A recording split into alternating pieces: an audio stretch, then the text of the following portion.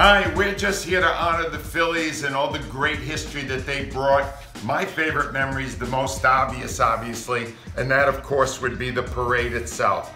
We waited so long to see the overjoyed fans in this town along Broad Street. And I'll, I'll remember it forever. I remember Elvis the dog and the lead float and um, Pat Burrell with him and all the people behind him. And you know what? When you leave that kind of a memory to the city, you give us something that's has no value. You can't put a, a price on it.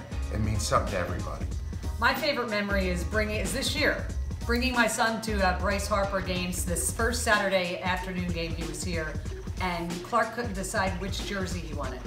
And then Bryce Harper, you know, obliged and him at a mammoth home run. And Clark goes, "Yeah, pretty sure I know which jersey I'm going to get." And I'd like to thank you since he'll be here for 13 years. He'll grow with that jersey and wear it for a long time. So thanks.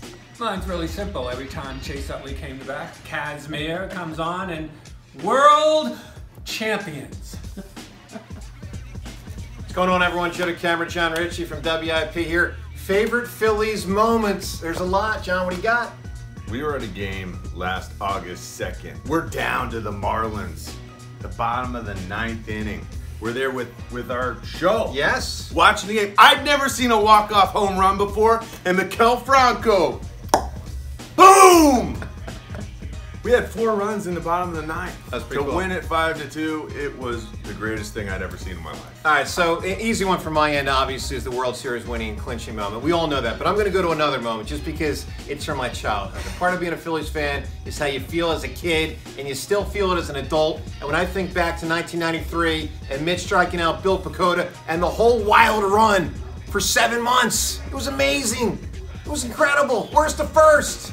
That was the happiest moment of my life for so many years when Dutch caught that ball and Dutch and Mitch hugged and the whole team came out striking out Bill Pecota in 1993. Love him, always will.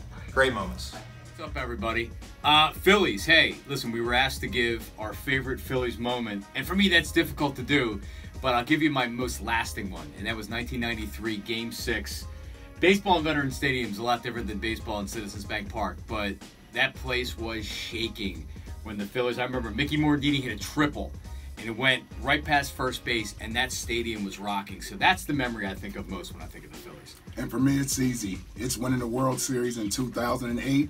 I was young in this business. I was on the air uh, doing the show, and, and the Phillies were playing. So I had to basically do a show uh, going up against the Phillies. And what I did was basically do my own Harry Kalas impersonation and gave a play-by-play of the uh, second half of Game Five that Thursday night when it was raining. And uh, I can remember going through my own uh, Phillies World Series champions call on the air on 610 uh, WIP back in 2008. I'll never forget it. It's a night My favorite Phillies memory ever, 2008 NLCS.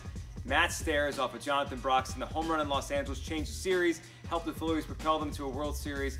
And not only was it a big moment, but it was one I, I saw coming. When they traded from that summer, I said, Matt Stairs is going to make a big contribution whatever the Phillies do when they get to October. He did that. The call by Joe Buck, the next day, the Daily News, everything about it so memorable. Matt Stairs off of Broxton, my favorite Phillies moment ever.